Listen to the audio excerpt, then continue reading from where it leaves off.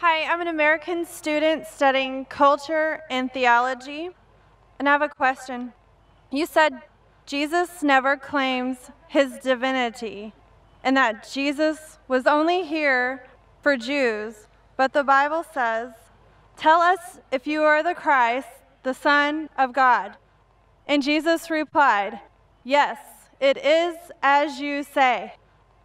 And then in Matthew 28 18 through 20, Jesus says to his disciples, All authority in heaven and on earth has been given to me. Therefore, go and make disciples of all nations, baptizing them in the name of the Father and of the Son and of the Holy Spirit, and teaching them to obey everything I have commanded you. And surely I am with you always to the very end of the age. Sister has quoted two verses from the Bible. The first one, if I'm mistaken, you said that Jesus claimed that you're son of God. Did you say that, sister? Yes, sir. Son of God. And second, she said that Jesus said, Go to all the nations. What she's quoting is the ending last portion of the Gospel of Matthew. If you go earlier, sister, it's mentioned in the Gospel of Matthew, chapter number 15, verse number 24. He says to the apostles that I have been sent not but to the lost sheep of the house of Israel. What you quoted, according to the scholars of the Bible, what they say that is an interpolation. But whether it is or not, I don't argue. But then there's a contradiction in the Bible.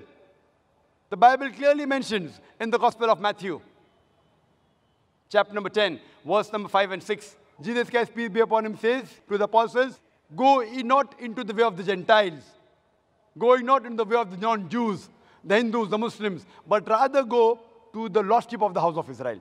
As far as the first question is concerned, that Jesus Christ, peace be upon him, said that I am the Son of God. Sister, do you know in the Bible, God has got sons by the tons? Adam was the son of God. Ephraim was a son of God. Israel was son of God. All those they are led by the Spirit of God, they are sons of God.